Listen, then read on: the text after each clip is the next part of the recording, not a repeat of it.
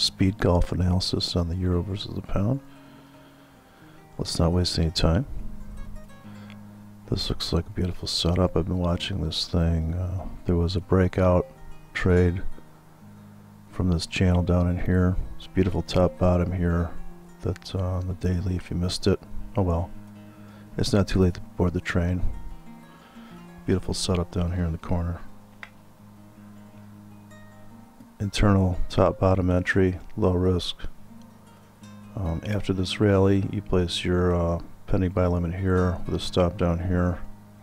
And then you have your uh, you know you can take about 50 off the table. Another chance to get on and run even a tighter stop.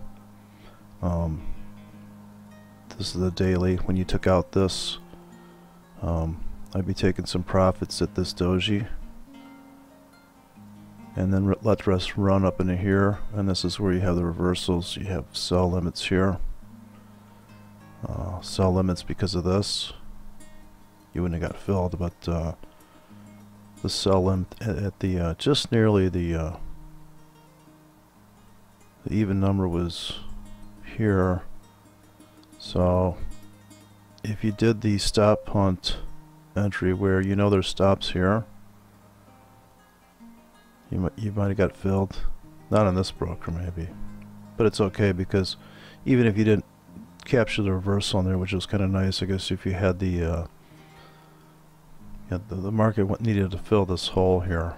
So after it was satisfied, and after they got the liquidity out of this hole, this is where the liquidity was living. So they cleaned house, they came up here, and uh, of course this is the daily, there's the triangle you could have had a sell stop this day. There's two days of sell stops there. The conservative uh, breakout traders have a sell stop here, which is the uh, middle of that month. And then we crush back in, and you should be long right now on this pair and have another pending here. So you get in light here. Uh, you got filled. If you're playing uh, this confluence of the trendline break, doesn't mean we can't keep crushing down into here. That's why you don't exactly want to load the wagon here. This isn't the uh, holy grail move to here. This could actually crush back all the way to here and just keep plummeting. So, and then of course the, in that case, you want to buy, you want to basically triple down. You want to bet the ranch down in here for a real high probability scalp to here. And then, of course, this could be the bottom bottom and then this thing's gonna go into a ranging mode and then maybe it does eventually go up. So and then we go to the four hour to see for a more precision entry um, keeping that same line from the daily.